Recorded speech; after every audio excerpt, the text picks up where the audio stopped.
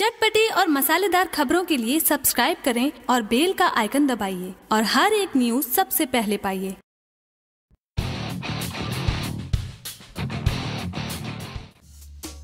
भोजपुरी फ़िल्मों के jubilee star Dinesh Yadav Nirahua के फैंस के लिए बहुत ही बड़ी खुशखबरी सामने आ रही है। आखिरकार जिस खबर का इंतज़ार भोजप्रिय दर्शक के साथ साथ भोजप्रिय जनता जिस चीज़ का इंतज़ार कर रहे थे फाइनली वह खबर जारी कर दिया गया। जी हाँ हम बात कर रहे हैं भोजपुरी फ़िल्मों के जुबली स्टार दिनेश निरहुआ के चुनाव लड़ने के बारे में। जी आपको बता दें की कुछ दिन ऐसी अटकले लगाई जा रही थी की दिनेश यादव निरहुआ आजमगढ़ ऐसी लोकसभा सीट ऐसी उम्मीदवार बनाए जा सकते हैं, जिसके बारे में ऑफिशियली अनाउंसमेंट कर दिया गया। जी आपको बता दें की भोजपुर बुधवार को भाजपा ने उम्मीदवारों की सोलहवीं लिस्ट जारी किया है, जिसमें छह प्रत्याशी के नाम है। लिस्ट में आजमगढ़ से निरहुआ को मैदान में उतारा गया है। निरहुआ के मुकाबले समाजवादी पार्टी के अध्यक्ष अखिलेश यादव होंगे। भारतीय जनता पार्टी ने सोलहवीं लिस्ट में जिन छह लोगों को नाम दिए हैं, उनमें निरहुआ के अलावा और भी कई लोग शामिल हैं, लेकिन निरहुआ का नाम फाइनल कर दिया गया है, जिसके अटकले काफ़ी दिनों से लगाई जा रही थी। यानी कि अखिलेश यादव के खिलाफ दिनेश यादव निरहुआ ने चुनावी बिगल फूक दिया है, और वह अब जमकर आजमगढ़ में चुनावी रैलियाँ करने वाले हैं। साथ ही साथ